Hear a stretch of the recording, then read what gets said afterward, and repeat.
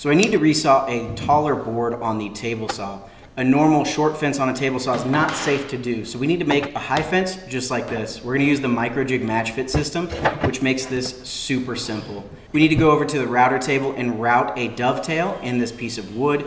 I'm using a slightly modified miter gauge here that I put a fence on so that I can safely push this wood through using the fence on the table saw as a reference. After everything's fully routed out, the MicroJig MatchFit clamps fit perfectly in here, making it a really simple way to clamp a high fence like this to the table saw.